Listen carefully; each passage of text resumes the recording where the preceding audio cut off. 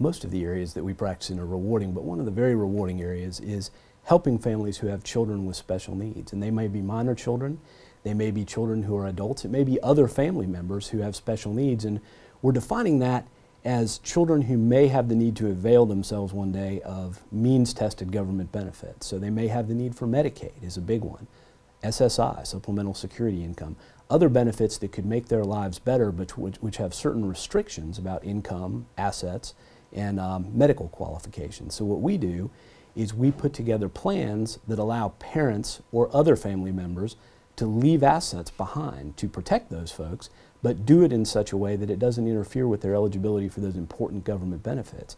Because as you can imagine, if you have a child who faces special challenges, that child may have the need for extensive medical care, sometimes beyond what a person is able to pay for or a family is able to pay for individually, even if they have a significant amount of money.